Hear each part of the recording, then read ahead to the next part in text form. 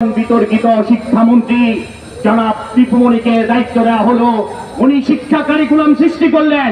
আমাদের আমির বললেন, এই যে কারিকুলাম তৈরি হচ্ছে, এটার মধ্যে ভুল আছে। সাংবাদিক সম্মেলনে যেই বইয়ের খসড়া প্রকাশ করা হয়েছিল, উল্লেখ করে দেওয়া হয়েছে, কোথায় কোথায় ভুল আছে?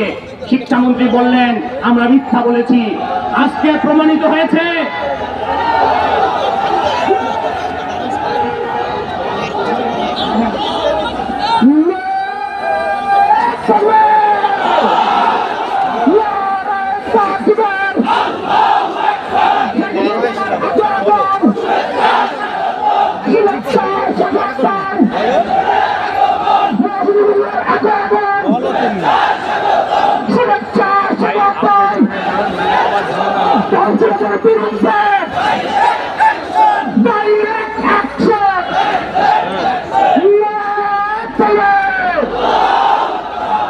প্রিয় ভাইয়েরা আমার আমরা দেখেছি আমাদের আমির যে বলেছিলেন এই কারিকুলামের মধ্যে অসঙ্গতি আছে ভুল আছে আমাদের উপর বিদেশের এজেন্ডা চাপিয়ে দেওয়ার চেষ্টা করা হচ্ছে আজকে তা জনগণের সামনে উন্মোচিত হয়েছে ভুল আমাদের আমির ছিলেন না ভুল শিক্ষামন্ত্রী দীপুমণি ছিলেন আর উনি- আর উনি ভুল করেন নাই, বরং আমাদের উপর এই তত্ত্বাবতা মতবাদ চাপিয়ে দেওয়ার চেষ্টা করেছেন।